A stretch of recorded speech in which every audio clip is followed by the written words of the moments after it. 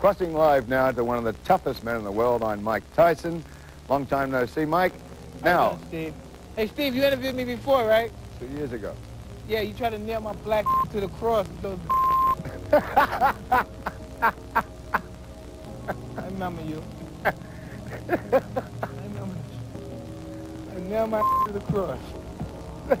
I know, Don, but I that's bull because, you know, you're here to promote the fight, man. We shouldn't even talk to that back, man. You're scumbag. I knew you were going to try to hang out to the cross like you did before. You, we're off the show. That's bull, man. Look. Don't patronize that. Oh. Man, he's trying to bury your to the cross. Matter of fact, I don't even want to fuck with none of. No, no, no, no, no, no. Man, get off me. Get off my hand. You got too many you got a lot of people. I ain't doing bags. You. What do you got to say about that, Steve? Whatever happens, I hope Mike Tyson will not get my address.